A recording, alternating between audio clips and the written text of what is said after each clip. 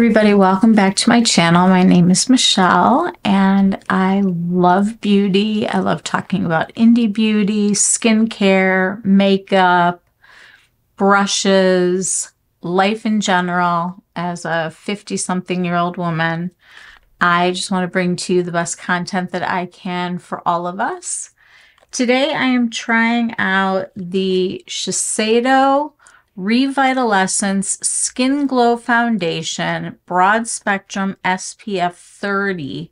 And then it does say sunscreen. Bio boosted technology, fermented kefir, and niacinamide. When I did a little research, I was um, looking to find out why we're supposed to get 24 hour hydration with something like this and how it does support the barrier. And what I found in doing my research is that the kefir is sort of like a milk derivative that's like in that yogurt family. We know those are really good probiotics. And then the niacinamide we know is something that is just really helpful in skincare for taking care of things and brightening. I am going to go in here. It says that the niacinamide smooths and brightens skin and the Kefir Plus is a probiotic.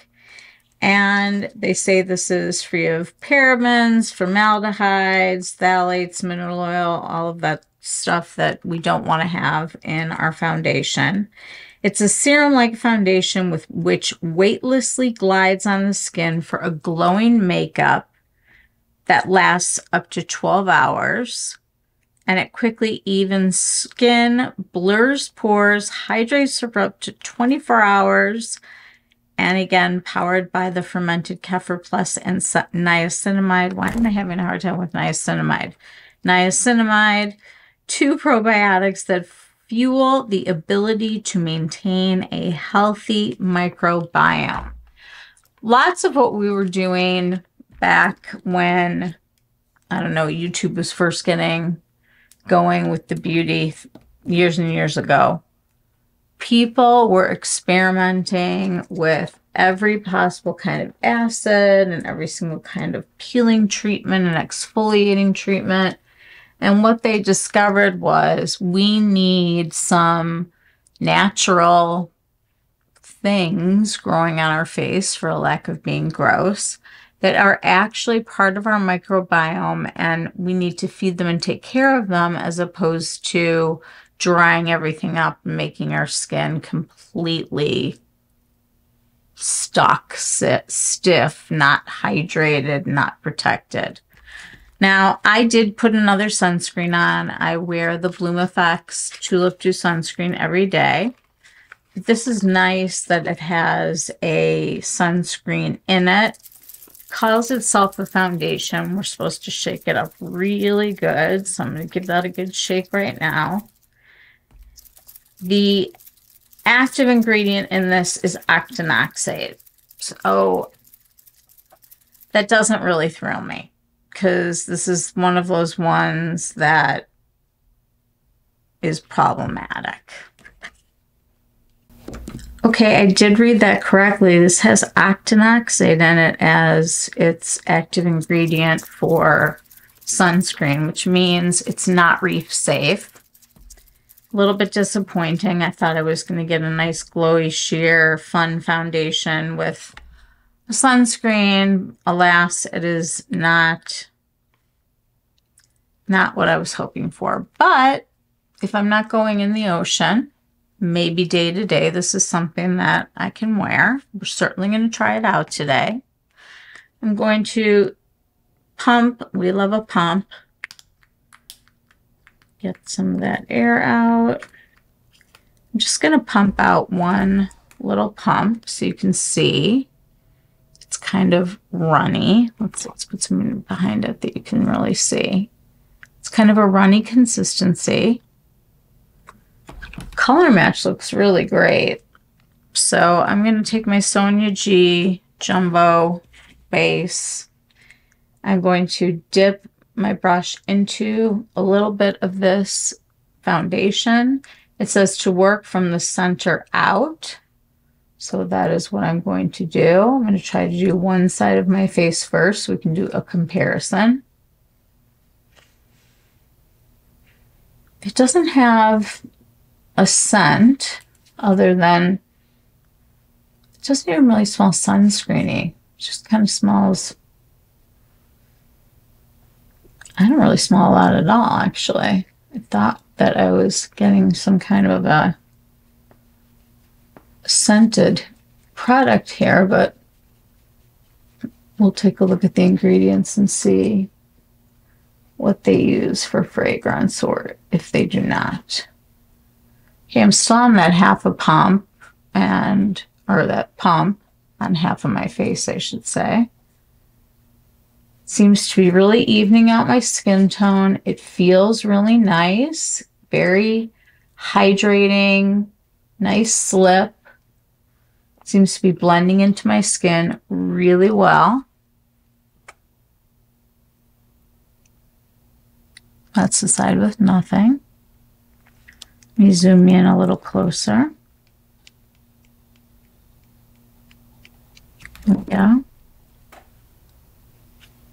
And this is without any color corrector. The only thing I used on my skin to prime it is skincare. And I used the Victoria Beckham primer in original. Mm, that was a couple hours ago, so it's all had a chance to really soak in by now. Okay, so this is one pump. I still have half of it left. Here's the center of my face. This is the one with the foundation. And this is the one without. With, without. Now this is a bruise from my Botox. We're not going to count that. I'm going to do the other side now.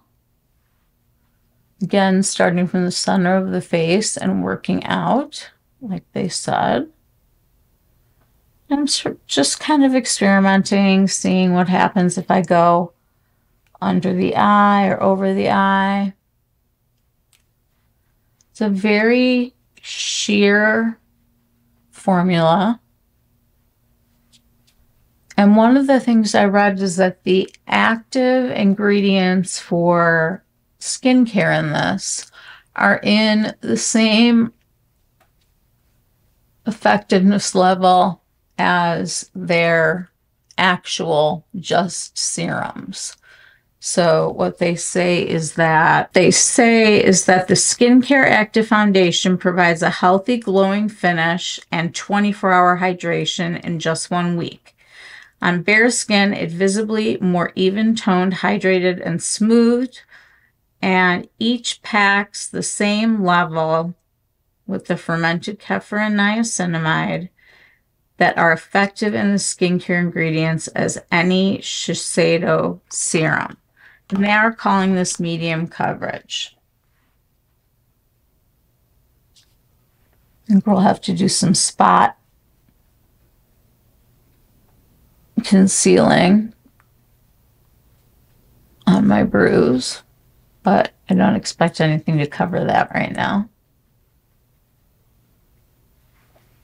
Okay, so this is one pump. Still have a little left.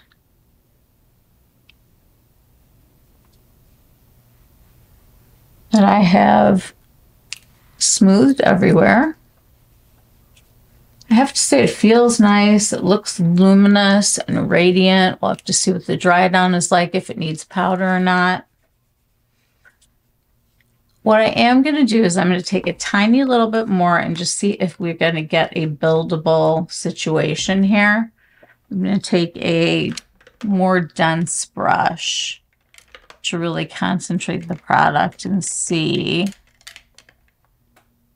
Just going to pull out a small concealer brush from Hourglass just to see what would happen if I try to build coverage in certain areas like this bruise.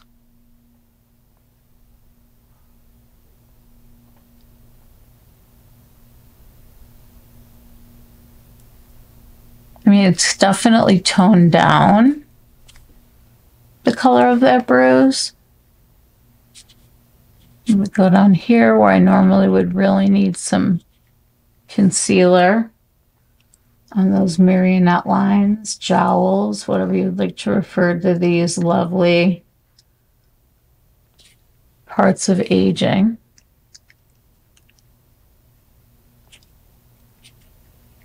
It's going on beautifully. I mean, I I know I'm going to need a concealer, but I do with every product.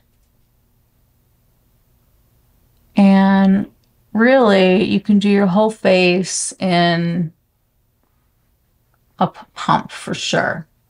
All right, let's get a bigger blending brush here to really buff. Go in right here. Got some sun damage.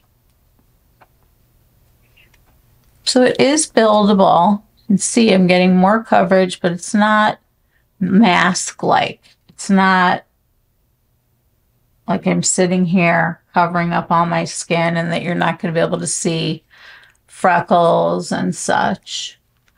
Remember always to take it down the neck and onto the ears. Okay, we're going to put this aside for a moment.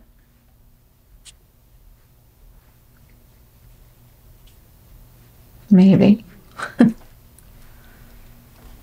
let's see what we think. It's pretty, isn't it? Pretty on the skin. I don't see anything really settling here. It didn't really go deep, deep around the nose. So let's try that out.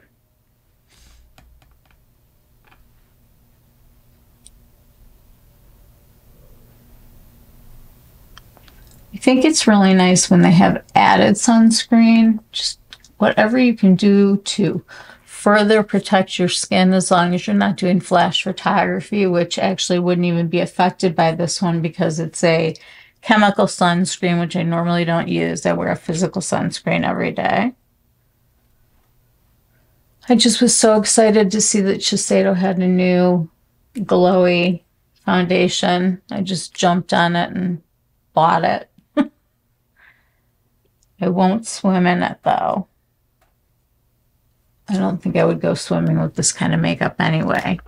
All right, so let's take a look. Really pretty. Very glowy. I don't see it settling. It's kind of like on over my wrinkles. Nothing looks accentuated. I am going to put on some more makeup. So I am going to use, since this has silicones in it, I'm going to want to use a concealer that also has silicones in it.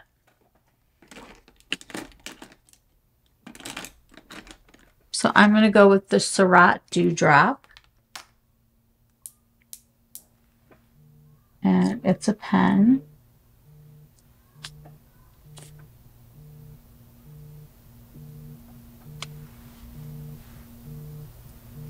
Just going to brighten some of the areas that I hit every day.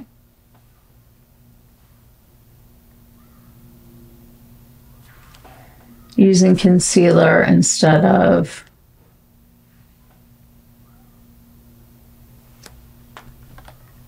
more foundation. Okay, I'm going to go back to my Sonia G because it's Got all of our skincare on it.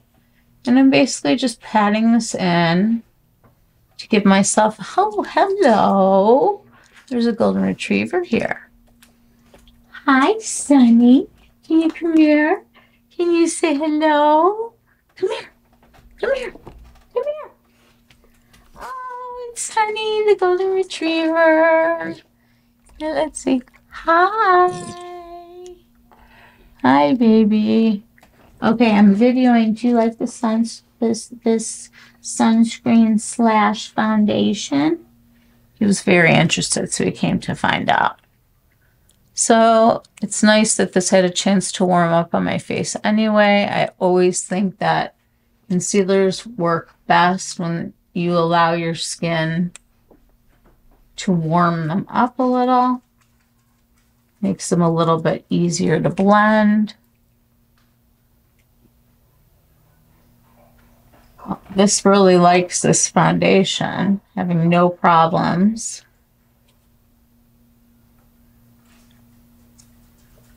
I could use a concealer brush, but I kind of wanted to use this because I wanted to see and make sure that there wasn't any interference between the foundation and the concealer.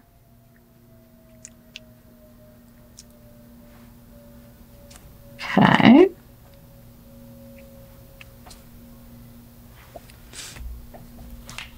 Let's put a little dot here. Probably gonna have to color correct this. But for now, we're gonna leave it. Okay, so this is the foundation with some concealer. I'm gonna go over the concealer now, just patting it in with my puff. Just to make sure that there's no excess product, I'm just sort of patting my face.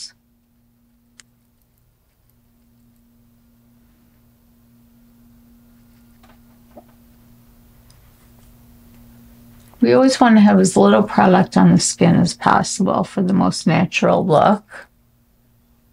Less is definitely more. And I'm just bouncing with a little bit of pressure just to really push the concealer and the foundation into the skin and, and into each other.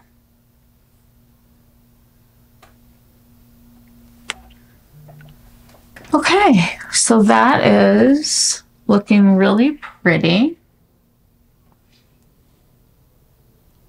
I don't see anything breaking up. I don't see any accentuation of lines.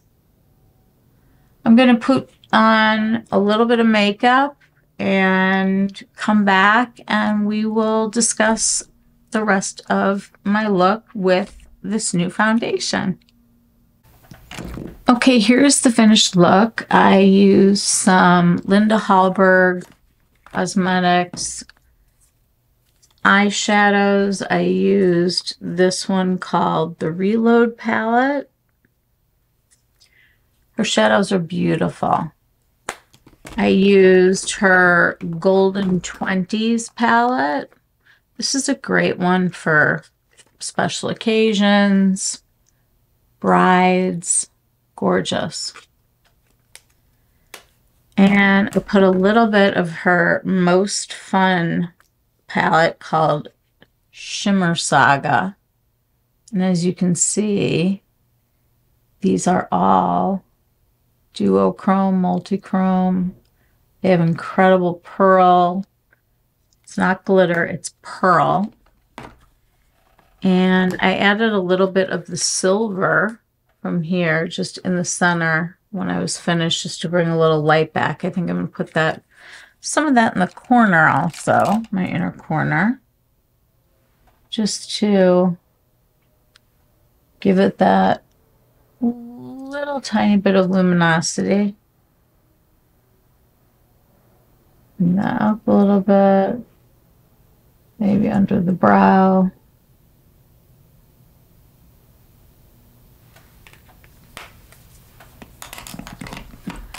So we're going to see how this wears. I'm going to go and do some errands today. I am going to be running around.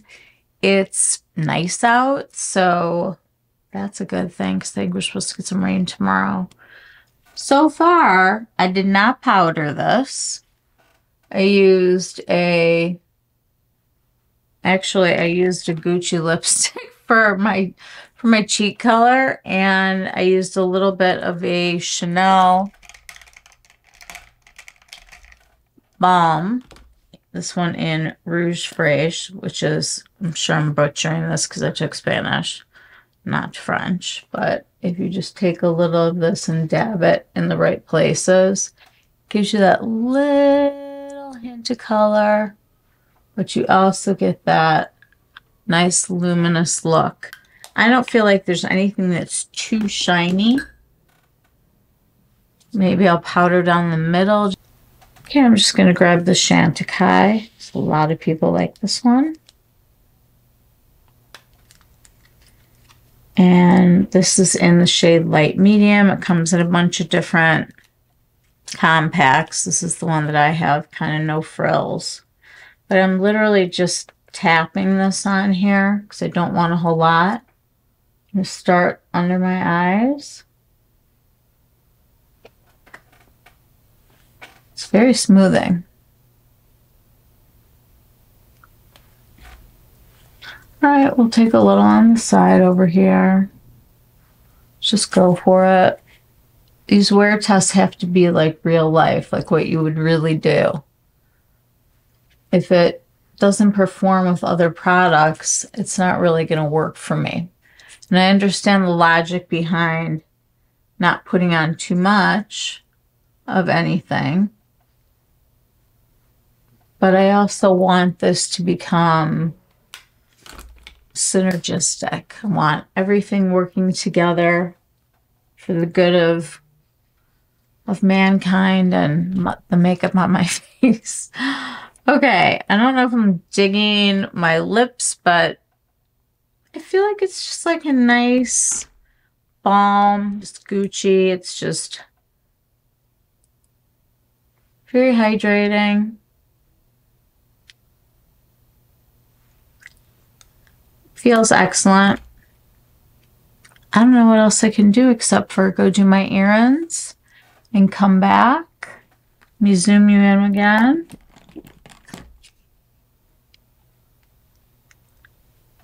This is what the foundation looks like with makeup. I have to say I like it a lot. I'm bummed about the about the octinoxate it's just I thought that they weren't putting this in anything anymore. I didn't think this was like an ingredient that was even really going to be out there if it's so terrible for our reefs and our oceans. I I'm not sure how I feel about this, even though I think it is really very pretty and wears incredibly well. I think I'm going to take a look at more Shiseido products and see if perhaps there's another glowy foundation that they have that maybe doesn't have the SPF that's chemical in here. I really have made the switch to um, physical sunscreens. Um, non-nano, I use Josh Rosebrook. I use Bloom Effects. I have a bunch of them, and I think maybe I'll do a video on that because people don't realize you need to be wearing sunscreen all year long, indoors, outdoors, and you're going to get that blue light protection from many of them also. All right, I will see you guys in a little while, and I am going to go to Sephora actually, so hopefully I'll bring home something fun that I can share with you guys. But sound out down below if there are products you guys want me to try. Let me know. I'm really flexible. Maybe it's a foundation that I already have. I am going to be doing days where I use absolutely nothing new on my face, and we're just going to learn to go back into our collections, find the things that we had fallen in love with before we went on to the next thing and bring them back and bring back the best of the best. All right, I will see you guys in a little while. Have a great day. Okay, I added a little bit of the RMS powdered blush just to see how the powder sits on on this foundation, whether it's the translucent or with another kind. My skin feels really good. Could they please do it without octinoxate. Oh my gosh. I I like this a lot. I think it's going to really hold up well. We'll see how it does when I get back. And I don't know. I just, I'm a little sad. I'll see you guys in a little while. I hope that um, this face of makeup stays and that we can talk about it when I get back. So it's been seven hours since I put on the Shiseido Revitalessence Skin Glow Foundation. I have nothing bad to say about this other than the fact that I'm devastated that there's octinoxate in it. It is beautiful. It faded pretty. It didn't settle into like any lines or like accentuate anything or make me look weird. And this eyeshadow from Linda Hallberg is so good too. Um, I did put a little bit of lip balm on before because my lips were really hurting, but honestly, the skin, see if we can zoom in here. It looks really good. It's really pretty and it doesn't feel like I have anything on my skin right now. It just feels really hydrated. I'm not dried out. I'm not. I, I have nothing bad to say. I just really wish that they would have chosen a different sunscreen to put in there so that it's not something that is going to hurt our oceans and kill our coral reefs. I just feel like we all need to like make those decisions right now. But this foundation is undeniably beautiful. And I'm not going to go swimming in it. But I'm going to keep wearing it and try some more of the Shiseido, I think, because wow. My skin feels so good. And I'm so happy about it. I really am. Again, the octinoxate, I, I, I, I don't understand. It's 2023 and we all know about it. But I can see where they would say that this improves your skin because they're saying 24 hour 24 hour hydration in just one week Bare skin is visibly more even toned and hydrated and smoothed. I definitely feel like I could be on the road to that. I'll keep trying more things, but in the meantime, if you're not going swimming, the amazing thing is that I'm not dying to take this off of my skin. It's really, it's pretty. It faded nicely. It sort of, I don't know, became even more one with the skin the longer that it was on. And if you remember, we powdered just in the center of the face and under the eyes, and it doesn't look dry. It doesn't look crusty anywhere. It's not grabbing any patches. It's not accentuating any texture. Please don't swim while you're wearing this because it would hurt the reefs. But if you're not swimming, like I didn't swim today, it's a good one. Feels good. It looks good. It's very glowy. It's dried down. I don't know what else you could ask for. It's gorgeous. Just gorgeous. I'm going to give it an 8 just because of the environment. Just please don't go swimming in this. Not that like I can ever imagine putting foundation on and going swimming. But um this is beautiful. The fade is beautiful. The color is beautiful. The way it feels on the skin is beautiful. I I don't feel dry or tight or anything. This eyeshadow from Linda Hallberg too is just beautiful. And also the fade there is gorgeous. For this many hours of makeup, I did put on a little of the Chantecaille lip veil in Freesia. Sorry, Lip Chic in Freesia, just because my lips were like super dried out. But guys, I think this is going to be a huge hit for people. I can see this being worn by people with dry skin, normal skin. Oily skin may have to do a little extra powdering because I have no idea what kind of oils are going to come through. I'm so dry. So on the dry scale and on the dry side of things, I have to say this is one of the best that I've tried. And the nicest thing about it is I'm not dying to go wash it off. That's pretty incredible. Usually I'm like, oh, I just want to get this off my face. I want to put my skincare on. My, my skin feels great. Give this one a try. It's beautiful. Wonderful formula. And a wonderful formula, a great foundation, no swimming. Okay?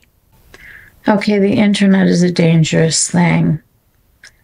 They are talking about what this does, and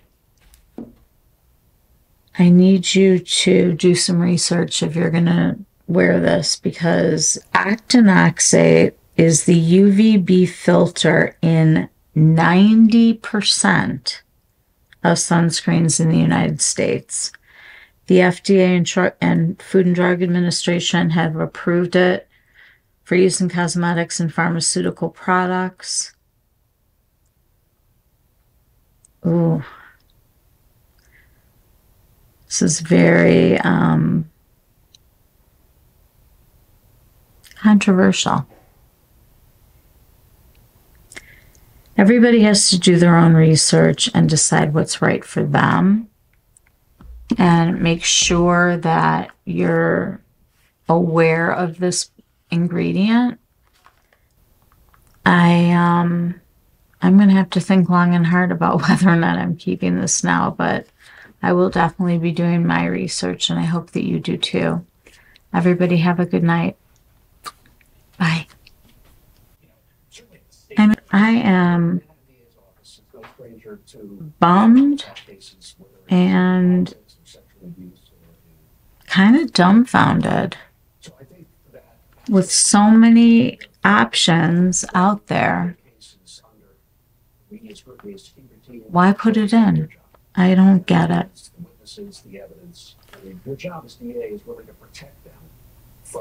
I mean, it is just a beautiful. I've got my lights turned way down right now, but it is just so pretty. And look at the fade. The fade is pretty. I mean, it's like all one. Everything came together. Makes me sad. all right, I'm going to find something from Shiseido. That's going to be my goal for tonight. I'm going to look through, see what I can find and try something without octinoxate in it because this stuff is great, which tells me that they probably make really wonderful complexion products. I'm going to find out about it. So have no fear. I still don't know what to do with this. Ugh. Okay, that's it. Thanks. Mwah. Night, everybody. So, update.